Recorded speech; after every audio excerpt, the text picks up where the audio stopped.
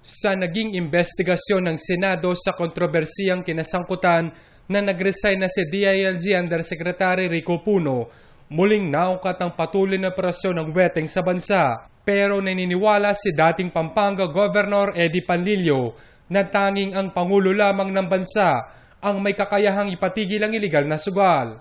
Sa investigasyon ng Senado noong 2010, kabilang si Panlilio sa mga nagbigay ng testimonya sa talamak na operasyon ng wetting sa Pampanga. Wetting issue na yan, it's even uh, preceded Yusek po, ibig sabihin, hindi lang naman sa panahon niya. No? Well, ako ang nakikita kong dapat nagpahinto dyan ng presidente. Kailan po dapat? Iutos lang siya, no? Yung in charge sa PNP. At hindi lang sa Yusek Puno, kundi pati yung, buong leadership ng PNP. Ang presidente lang talaga makakaalis niyan. Naniniwala naman si Panlilio na mareresolba ang issue dahil sa isinusulong na pagbabago ng Administrasyong Aquino.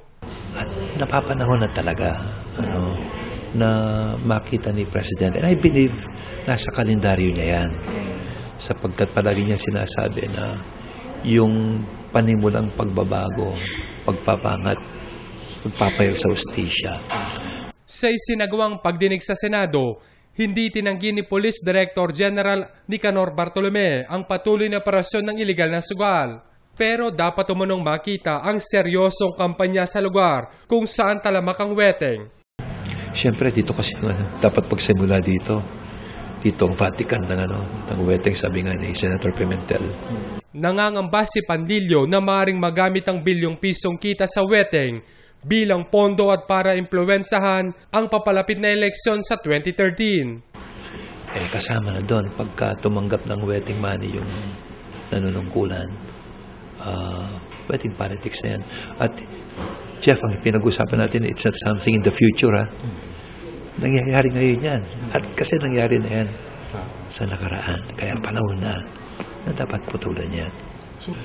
At least mayroon tayong kaso sa Philippine history na umabot sa korte. At yun ang naging dahilan kung bakit convicted ikinulong yung presidente. Yung pagbibigay ng wedding money. Hindi na haka-haka yun, hindi na allegation yun. Ano?